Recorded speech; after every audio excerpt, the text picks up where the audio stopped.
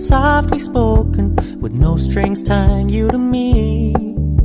I'm happy in your company with no emotion, cause my love deserves to be free. I never wanna look at a house in the garden